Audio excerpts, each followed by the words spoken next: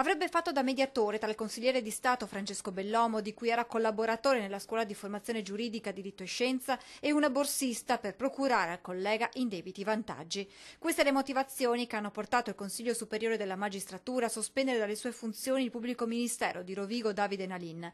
Si tratta di un provvedimento cautelare adottato in via d'urgenza. Sempre secondo le motivazioni che hanno portato il CSM a questa decisione, il fatto che con il suo ruolo nella scuola Nalin avrebbe esercitato attività vietate ai magistrati ordinari in violazione della circolare del CSM sugli incarichi extragiudiziari del 2015. Non è affatto vero che mi sia prodigato per indurre ragazze ad assecondare richieste illecite del consigliere Bellomo. Non ho mai fatto nulla di tutto ciò, così come nulla che potesse essere letto come costrizione, men che meno facendo leva sulla mia figura istituzionale, quanto dichiarato da Davide Nalin.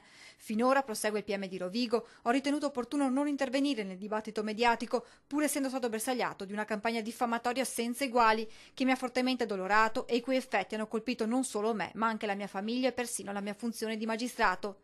Si tratta di un provvedimento, conclude Nalin, che fatico a comprendere, che inevitabilmente impugnerò, continuando ad avere fiducia nella magistratura alla quale ho dedicato la mia vita.